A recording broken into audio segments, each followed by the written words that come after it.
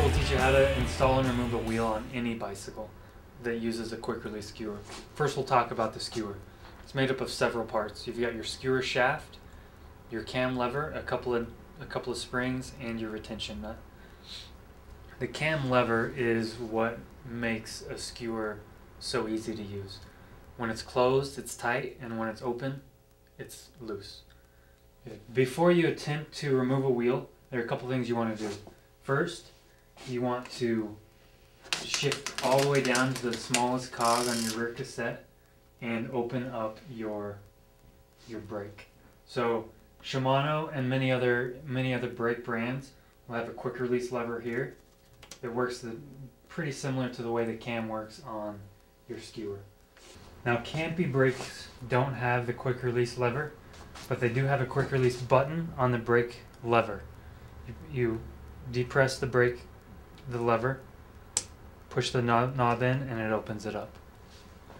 Once you have your brake open and your, your chain shifted down, open up your quick release lever, and your rear wheel will just drop right out.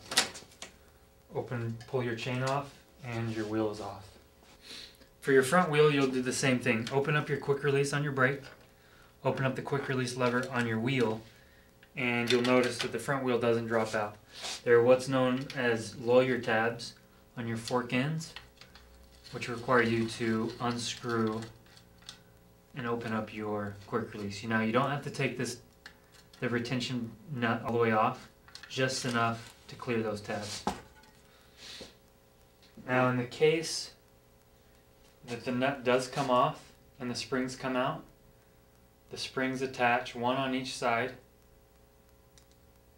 with the small end facing in. Now to reinstall the wheel, make sure again that your brake is open. And I find it easier to hold it at the top and guide in the skewer into the tabs with my left hand. Tighten up your retention nut.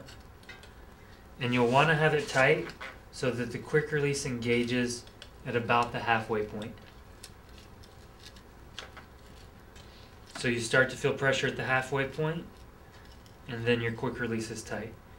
Now to install the rear wheel, you want to again ensure that your brake is open, and you shift it all the way down. Take the wheel from the top, and line up your smallest cog with the chain. Pull your derailleur open. And it should pull right into your dropouts. And if you hadn't adjusted your your quick release at all, it should be the right tightness. If you did, you might have to adjust it a little bit. Same as on the front, to where it's tight but not too tight. Once you have your wheels installed, you want to check to see that your brake still engages in the proper spot.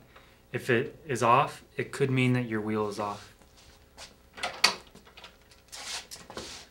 And a good way to make sure that your wheel is is installed evenly on both sides is to have your bike on the ground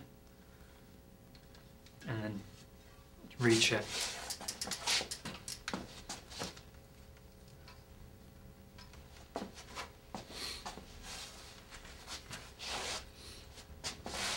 And you want to have your quick release skewers on the non-drive side of the bicycle.